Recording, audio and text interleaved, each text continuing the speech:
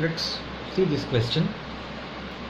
Six identical resistors are connected as shown in the figure. The equivalent resistance will be this is the diagram okay? There are six resistors 1 2 3 4 5 6 all are r only okay? All values are r that means they are having the same value.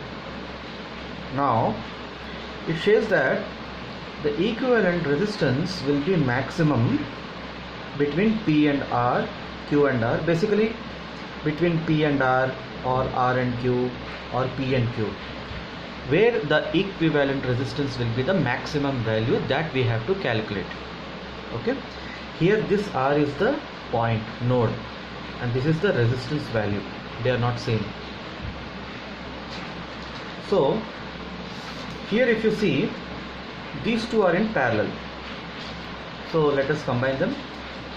Then you get 1 by r dash is equal to 1 by r plus 1 by r or 1 by r dash is equal to 2 by r or r dash is equal to r by 2 similarly there are three resistors here in parallel. So let us call that value as 1 by r double dash is equal to 1 by r plus 1 by r plus 1 by r. Or 1 by r double dash is equal to 3 by r or r double dash is equal to r by 3 so the new figure will be like this. Between p to r p to q it is r q to r it is r by 2 and p to r it is r by 3 now in the question it says that find the equivalent resistance and when it is maximum between p and r. That means these two are connected to the source of the battery and when you take between p and r these two between p and q and q and r they will be in series. Okay? The diagram will be something like this. We can assume that this has been connected to some external battery like this. Okay? Your q point will be somewhere here. So p to q it is r. Q to r it is r by 2 this is the modified diagram when you are finding out the equivalent resistance between p and r. Okay?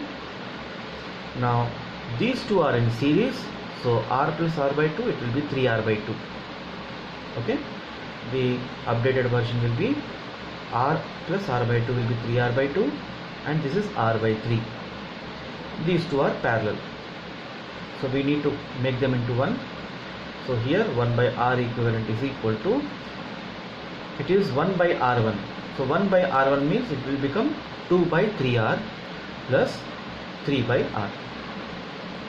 We take 1 by r common it is 2 by 3 plus 3 or 1 by r equivalent is equal to this is 11 by 3 okay? We want r equivalent we need to inverse it. So r equivalent in the case is equal to 3r by 11 okay? This is between p and r. Adopting the same procedure now we have to calculate between p and q. Between p and q. So p and q anyway r is there. You have to find out between p and q. P and q anyway r is there. And here p to r and r to q they will be in series now. So it is r by 3 plus r by 2 they are in series now. Okay? So here r dash will be equal to r by 3 plus r by 2 5 r by 6 so this will be the next diagram to this. These two are in parallel now. So it will be 1 by r equivalent is equal to 1 by r plus 1 by 5 r by 6 that means it will become 6 divided by 5 r so 1 by r equivalent is equal to 11 by 5 r.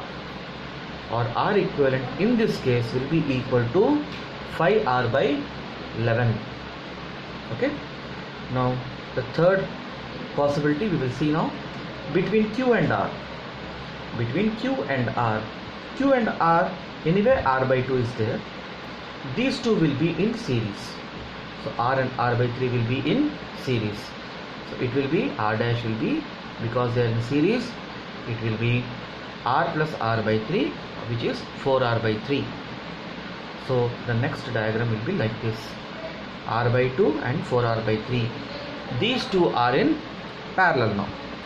So 1 by R equivalent is equal to 2 divided by R which is 1 by R1 plus 1 by R2 it will be 4R by 3 okay 1 divided by 4R by 3 which is nothing but 3 divided by 4R it is 1 divided by 4R by 3 which is 1 by R2 it will become 3 by 4R so when you calculate you will get 11 by 4R so R equivalent will be inverse of this 4R by 11 so in this case you are getting 4R by 11 which is Q and R but between P and Q you are getting 5R by 11 and between P and R you are getting 3R by 11 so option C is the correct answer.